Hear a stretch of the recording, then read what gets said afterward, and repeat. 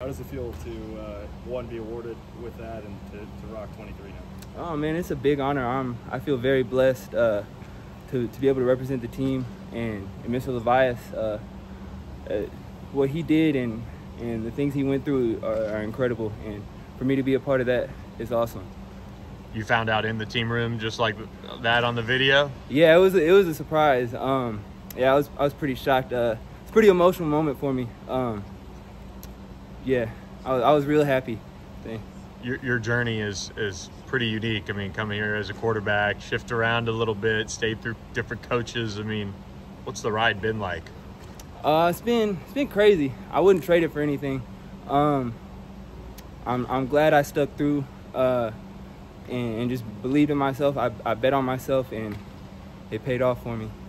Kind of on that note, I mean, obviously with COVID, a year was gone, so people had another year if they wanted to. I, I guess was there any thought of like, you know, maybe it's time to move on, or were you just very excited to, to take advantage and come back for one more year? Um, that thought crossed my mind, but I really saw COVID as an opportunity to to rebuild from the chaos. You know, mm-hmm. uh, there's a lot of opportunity in chaos, and I, I try to seize mine. With that, what is your comfort level with the receiver position now coming into into this year, maybe than where it's been in years past? Oh, it's a lot better. Um, just just repetition. That's, that's all it is. Just hours at, at the position. Uh, starting to feel more natural every day. What, what would a championship mean to cap your career? I know it's been a big talking point this offseason with the team. Man, that's the only thing I want is, is a championship. So that would be everything. Uh, there's, there's people who put in a lot of work. Um, there's a couple other senior six year guys that, that are on the team. I want I want it for them too.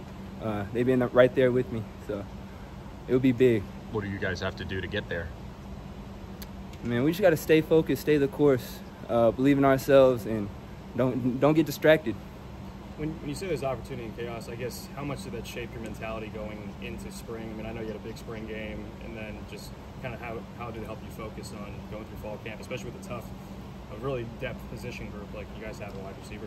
Yeah, it's a deep room. I knew uh, that every day you're gonna have to scratch and claw to, to get reps. So I, I like that about us. You know, iron sharpens iron. We we got a we got good chemistry in there. Um, everybody pushes each other. It's a good room.